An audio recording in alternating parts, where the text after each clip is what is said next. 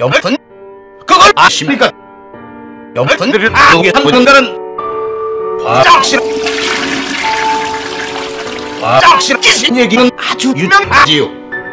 만일 당신이 내 미라면 조심하시. 일본에 너무 오래 앉아 있으면 안 돼요. 왜냐고? 기신이 당신의 머리가 불새고 있기 때문이야.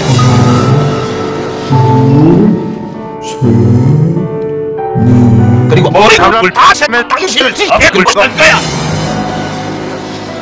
뭐 미랬다고? 사실 나도 못 미랬어. 그래서 내가 좀 확인하려고 해요.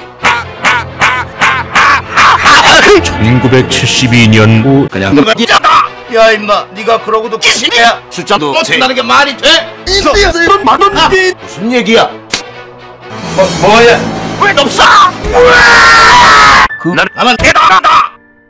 머리가 불새는 기신보다 더 무서운 것은 머리가 불새는 기신이라는 것은